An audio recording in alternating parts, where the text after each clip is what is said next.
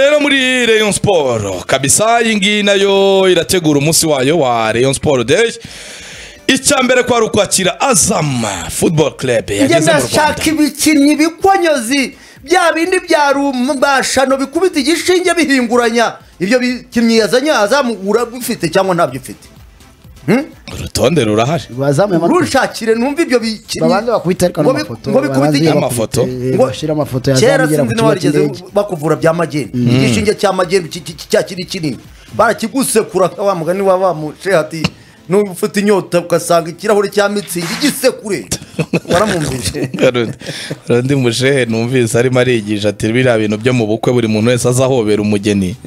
Ati wallahi ibyo ntibishoboka. Ati buri wese barabiciramo amukandakanda ngo aramusezera ngo gariso donere toka kure wallahi ntibishoboka.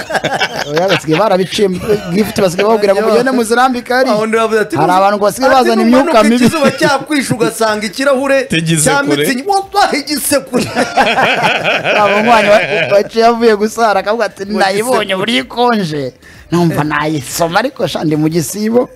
Nuko uramwibuka rero ndabwibuka hanyuma ibyo bikinnyi rumashano yateraga igishinge Eh, kigahinguranya iyo bikinyero bya Leonidas yagiye dukanga bicishamo amazina. Nawe ivurina duterekereho amafoto. Turebe tubacishemo ijisho. Numva koko ari ibikinnyi biza guhinguranya sir.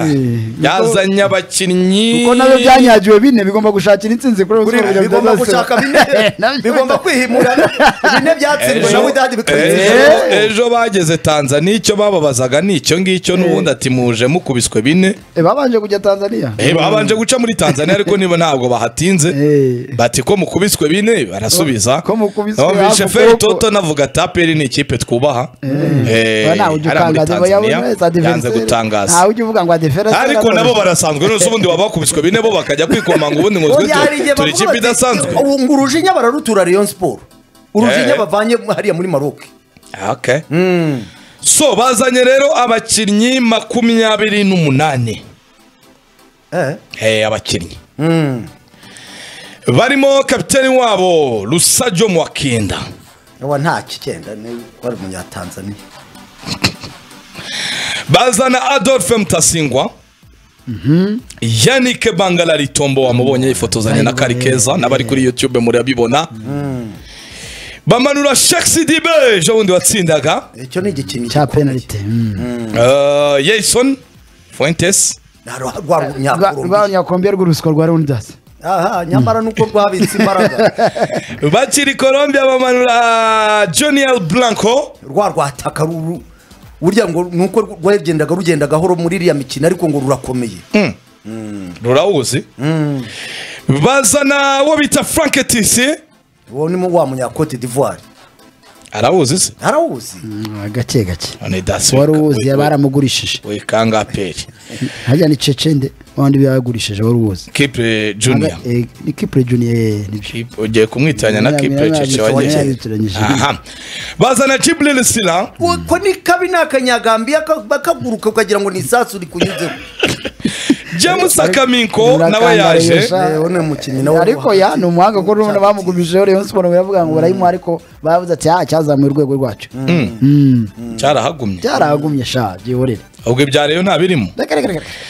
Bamanura uwitwa faisal salum abdala Kizigenza. icyo feitoto kigabo iyo kikunyuzeho kera ntabwo ndabyibuka ari mu- ikigabo ni akagabo afite n'amatako byihorere. Ntabwo ari ikigabo ndabyibuka ingabo za rpf inkotanyi ziri kubohora u rwanda. Katyusha byate- bateraga. Kikakunyura kivuga ngo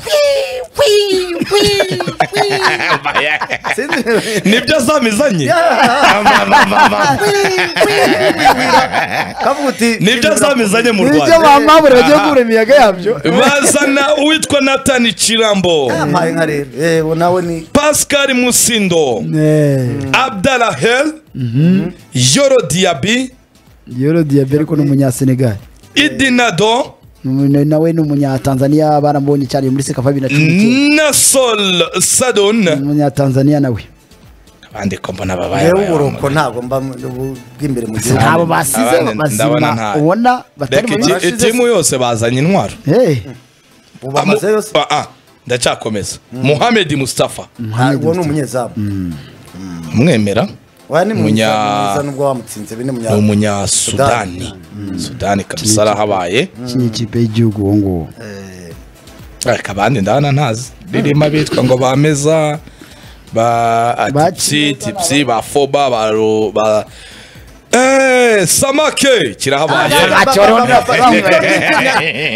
ni Samaki, rurusize rwa Diakite. samaki rwa rwa diakite kuki wari urusize Eh, Ah, babita rarararara. shekina diakite ibyo bikinnyi ni noneho byo Ni- ni byo bivuga ngo du Ah, eh, eh, eh. abo rero nibo bakinnyi ikipe ya azamu imanuye azamu football club. Bazanye n'umuvugizi wabo. Akaba ari uwo bita ashimu ibwe.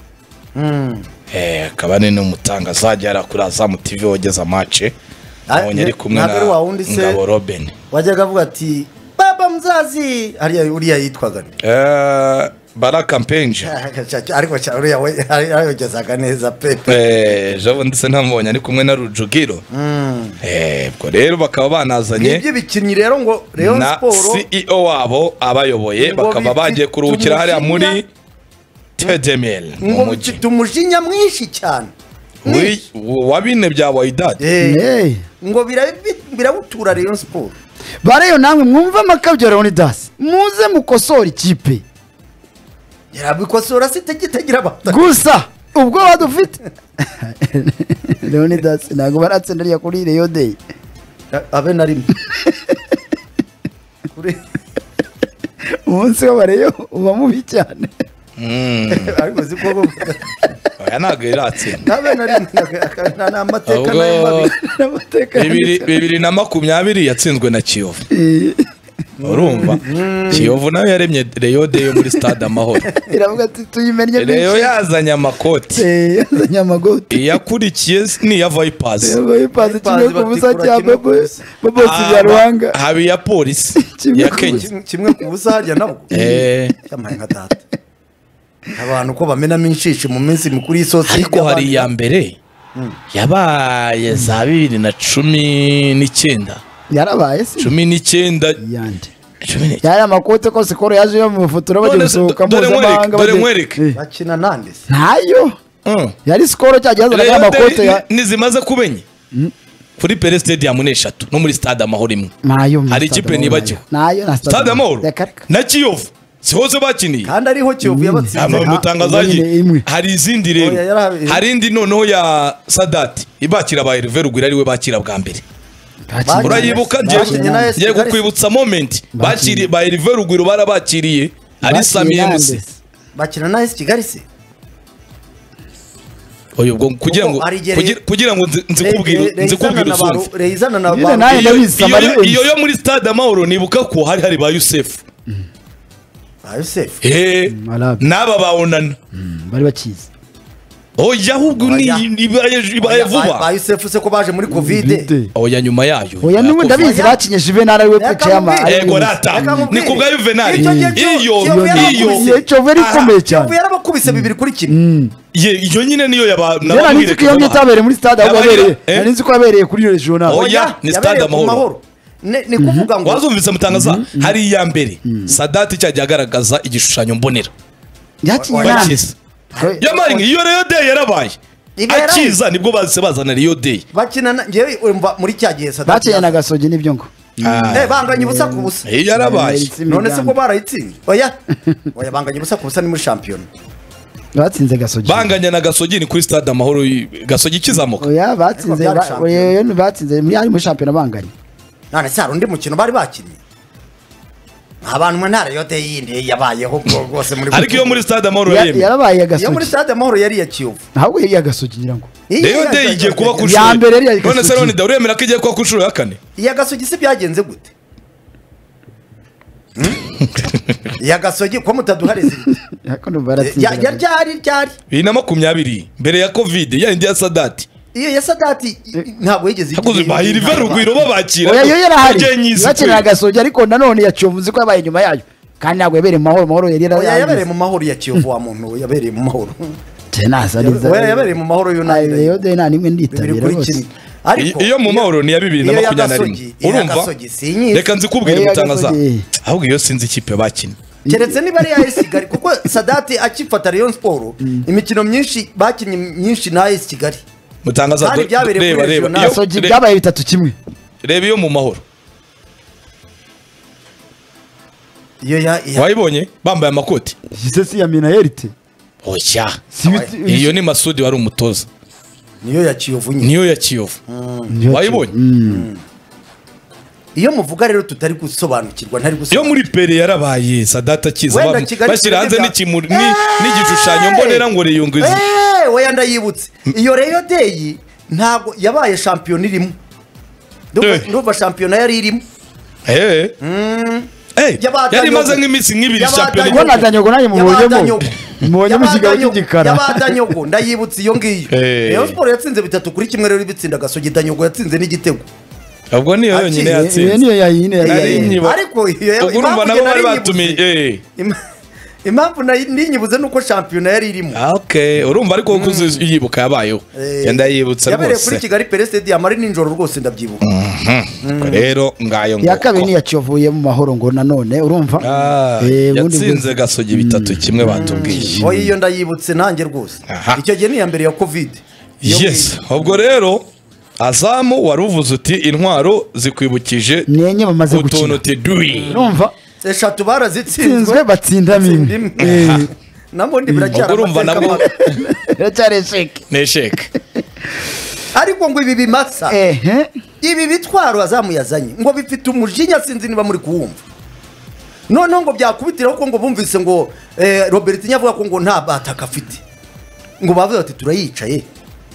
Iyo kipe idafite abataka batibaho azamu rero irakora imyitozo kuri uyu munsi. Sangapi irakora imyitozo kandi ndeba isaha neza. Barakora imyitozo saa kumi n'im- eh, saa kumi n'ebyiri. Gukora imyitozo ku matara buriya baracana amatara.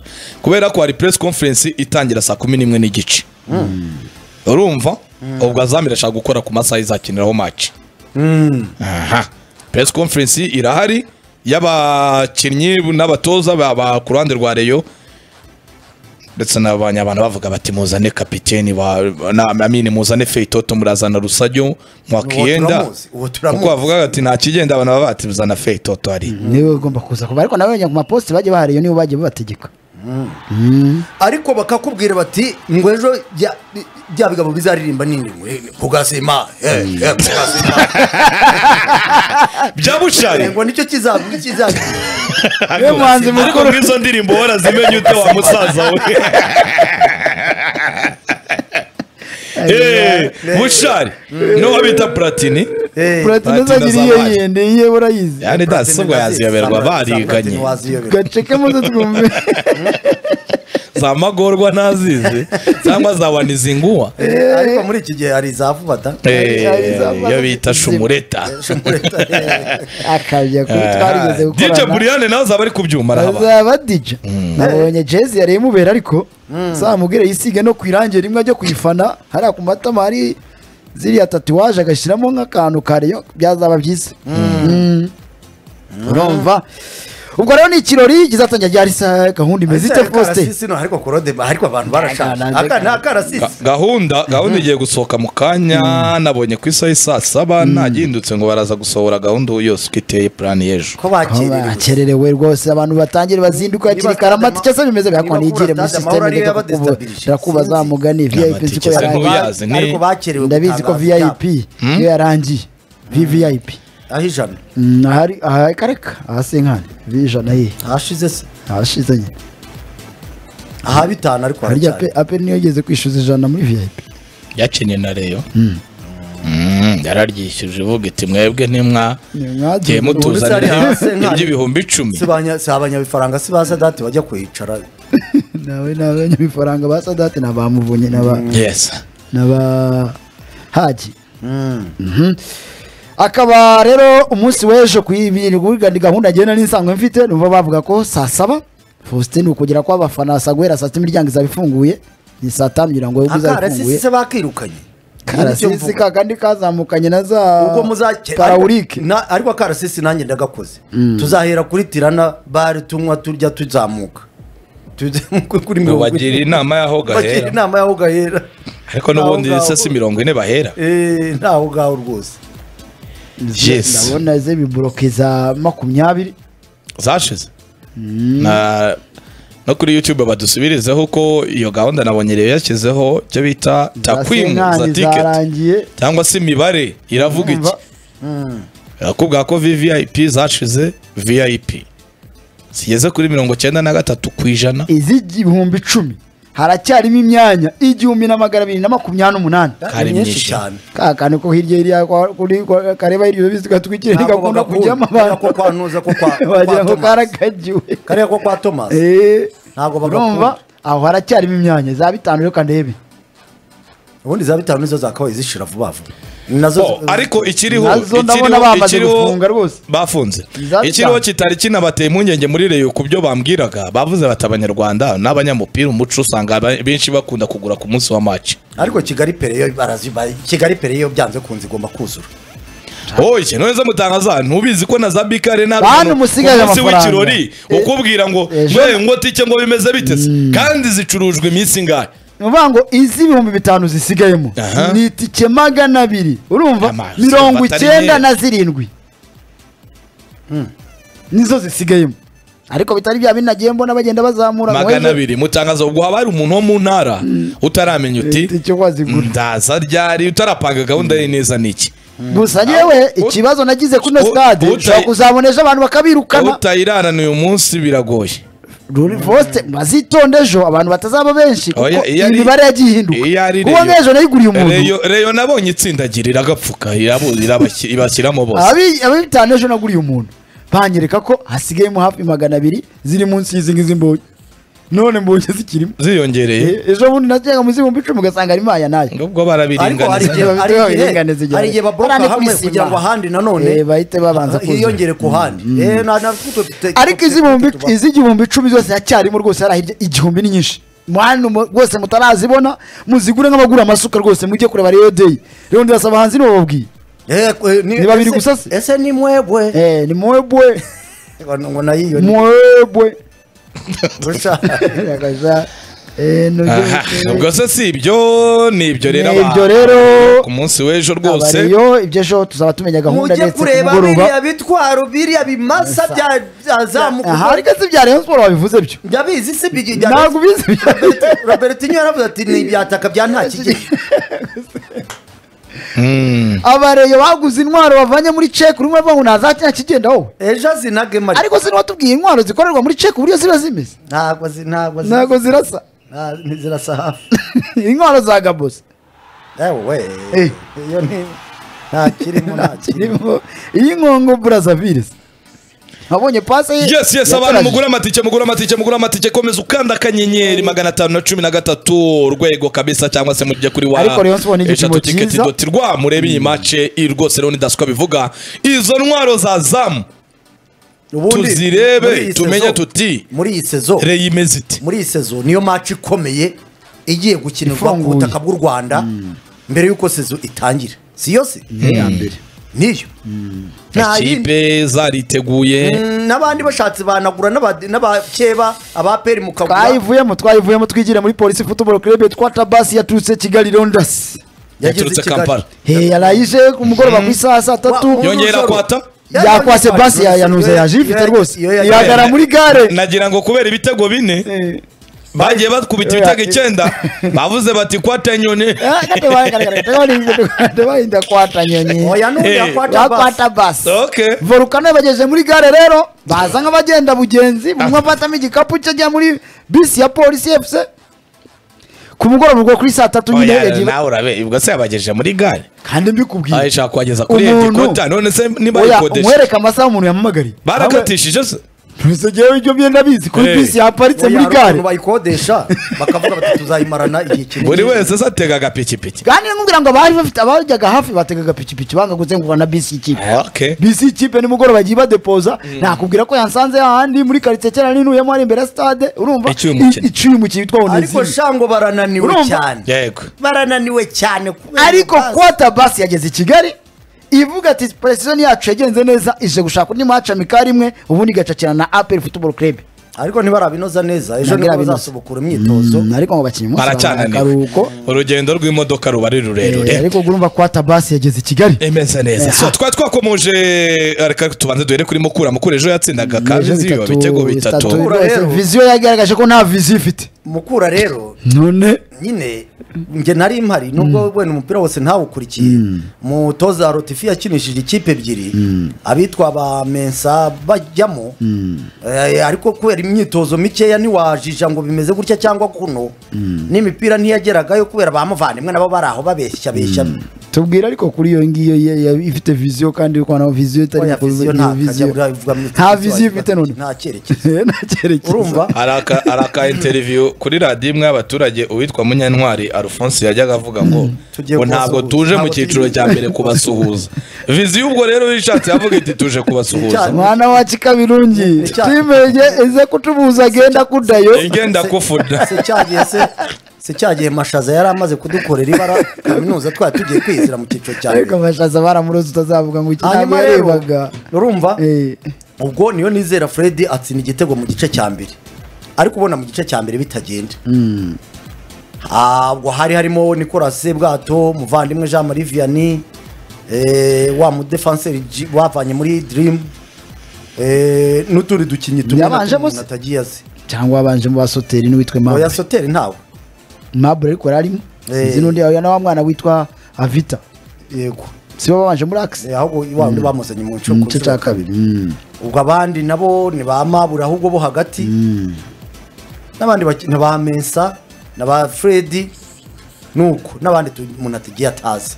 Mu gice cya kabiri ahindura ikipe ashyiramo udukinnyi tukiri dutoya twa abitwa ba constantine ashyiramo n'uwo munyadefanseri w'umunyagana ashyiramo n'undi munyezamu n'abitwa ngo basunzu ngo ngo ifite n'uwitwa sunzu. Eh mu zambia se? Oya. Numva Sunzu. oye sunzu boneri niba ari sanzu boneri niba ari sunzu boneri yego. Baza gutsinda ibitego bibiri rero kimwe kuri penaliti eh, n'icyandi cya gatatu. Amahindura sha. Ariko ukabona nyine mukurayo ni umukino wa mbere w'imyitozo ikinnye mm. ikeneye na yo nk'indi nk'ibiri cyangwa itatu. Nayo irabikeneye. Nubwo yatsinze bitatu nyine. Gorira rero hari agakipe yifatiye hariya rubavu igatsinda bitanu k'abanyabrezil kari aho ngaho. Ariko ari iravuga iti reka dusinyishe nishimwe breze. Bamusinyishije yamusinyishije imyaka ibiri cyangwa umwaka umwe? Eh, bamusinyishije mwajyana umwaka umwe. Ariko Eh, urundi hariya wa mu- wa mudefanse witwa Abdul Jalilu yari arimo yari arimo ari kumwe akina na Chris Rushema. Mm, wa. Ah, ndetse na wa mwataka yari arimo rwose ngira ngo yavugaga witwa Boateng Mesa. byarangiye nuza jarene bigenze bite? Jarene yagumyeyo yari kuri benshi okay. Yarabiringanije na mukurega bafitanye ubushuti bwabo butajya umenya So breze ndabona yasinye umwaka umwe. Eh, Mm, signed one one year abo contract basaza se kurimo kubasinyisha umwaka umwe rwana haji. Breze se arashaje ko ndetse yashajishijwe n'ibyo hanze y'ikibugu cyangwa ngo breze yarashaje. Ntabwo ashaje ariko nyine abakinnyi nk'abo ngabo bakabaye bagumyisinya imyaka ibiri mu ikipe ya gore bakayimaramo igihe ariko se baje gu- gucamo nk'iki- nk'ikiraro ronda? Ubwo baba bamubeshya ngo- ngo ba- babeshya ngo Ngo adafite turakomeye. deal, ngo dufite aba- hanze. abanyamahanga nabo baratuma abakinnyi bisanga muri utu dukipe. Bagende bakore bagende ikipe y'igihugu ikeneye abakinnyi. Bafite umwanya munini wo gukina urabyibuka ko savio nta kipe afite? Ariko nta na gore yamugura urabyibuka ko rutanga nta Savio kipe najya muri afite? Kiyovu ni umwana kumena Eh. Rutanga uturere hafi nyamirambo uzamuka muri kiyovu. Eh. Ariko nimugende mwaka igifurumba ntayifite. Mugiye gukorera itorero bajye gukorera itorero none. Abavolonteri? None. Si wowe warwanyaga volontariyara Eh, inshuti wawe bakaro sharon dasi yigaragaje bakaro. Eh, minisita arabigaragaza rwose aratanga inzoga. Ntibimaze iminsi yaratangaje ra? Ahubwo nagira ngo yari yaciye impaka. So ubwo rero ni ibyo